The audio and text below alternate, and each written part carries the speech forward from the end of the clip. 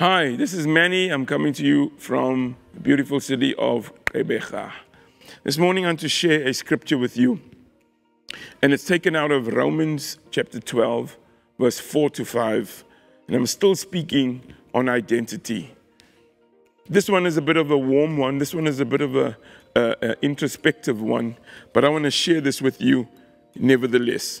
The Bible says in verse 4 just as our bodies have many parts. Each part has a special function. So it is with Christ's body. We are many parts of one body and we all belong to each other. Let me read that last part again. We are many parts of one body and we all belong to each other. I said it's a bit of a warm one because I'm speaking, still speaking about identity this morning. There's a saying in in, um, in, in, in our indigenous languages. Um, I come from KZN, so I know Zulu. I'm not too sure about Pedi and Sotho if they have it. But in, in Zulu, they have a, a, a, a phrase that speaks about Ubuntu. And Ubuntu basically means it's about, it speaks deep into the, the concept of community and connectivity, uh, connectedness, being connected within a community. And if ever there was a community, this is what the scripture is speaking about. If ever there was a community, it's this body. I have fingers, I have hands, I have elbows, I have, I have an ulna. Apparently, the, that's an ulna. Um, I have shoulders, I have all these different parts of my body.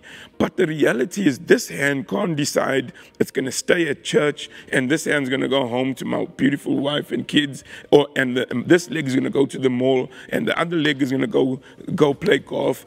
My body can't decide to do whatever.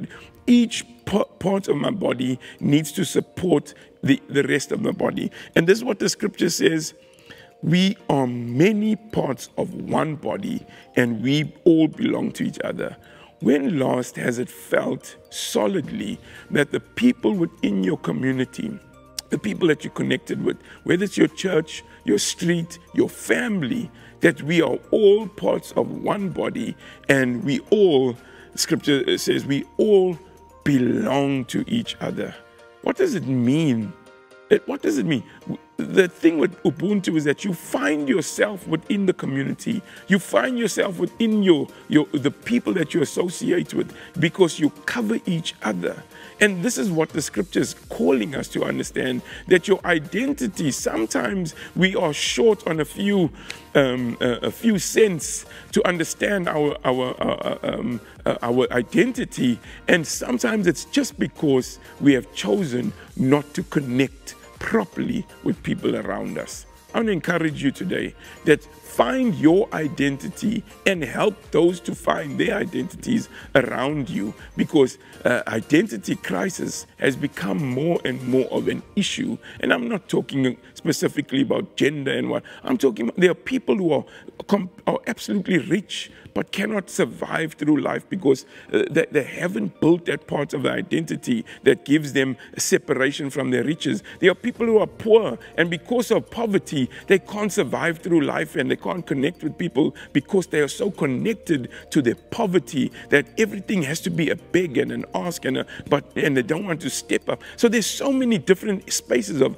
identity crisis, and I, the scripture is actually encouraging us to connect with those around of us.